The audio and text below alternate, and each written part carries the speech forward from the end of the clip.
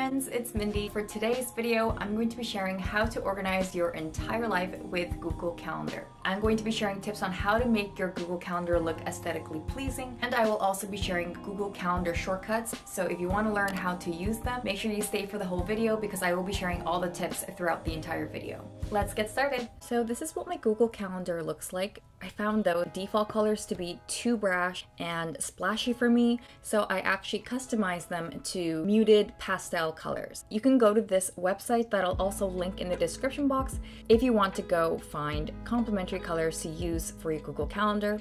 Or what you can do is you can go and find some hex codes that you like on Canva and choose the colors that you want for your Google Calendar. Now, if you don't want to spend the time to go through all the colors, I did actually create a sheet with all the pretty pastel colors that look great in a Google Calendar for you to download and save some time. So I'll include all the links and details in the description box below. After you go and choose your colors, all you have to do is go where your calendars are. So let's say you want to change one for personal events, click on those three dots, go to the plus sign over here at the bottom and then add your hex code in and it's simple as that. The next tip on how to organize your entire life in Google Calendar is to create custom categories in your Google Calendar. Right now I have categories turned on for work, important days and events, YouTube, bills, assignments, classes, personal events. If you want to go and create a category, you can just go and create a new calendar. And then when you go back, it should show up on the left side there.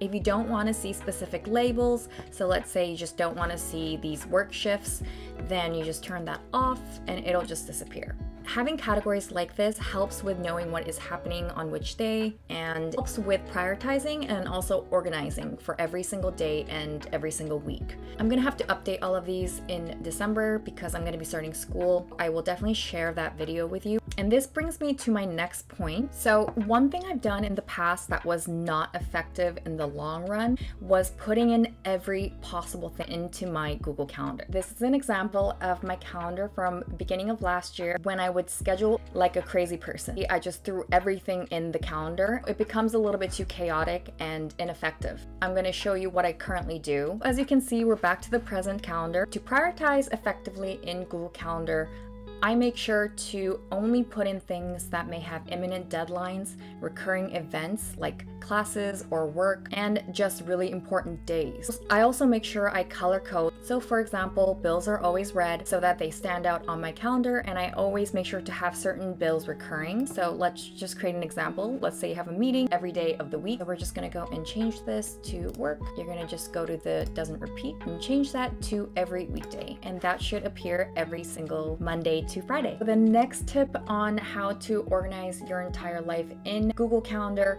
is knowing shortcuts on Google Calendar. I accidentally found these while typing on my keyboard. It was the happiest accident of the year. So pause this video and open up your Google Calendar right now so you can try these shortcuts out with me. This is the weekly view currently on my Google Calendar. Now let's say that you just want to see just one particular day. So all you need to do is go on your keyboard. You're gonna press on the number one keyboard and then it's going to show you just one day. And if you want to go see a monthly view, go and click on M or number three and it's going to show you a monthly view. But let's say that you want to see a weekly view, so all you need to do is click on W or alternatively you can click on number two on the keyboard.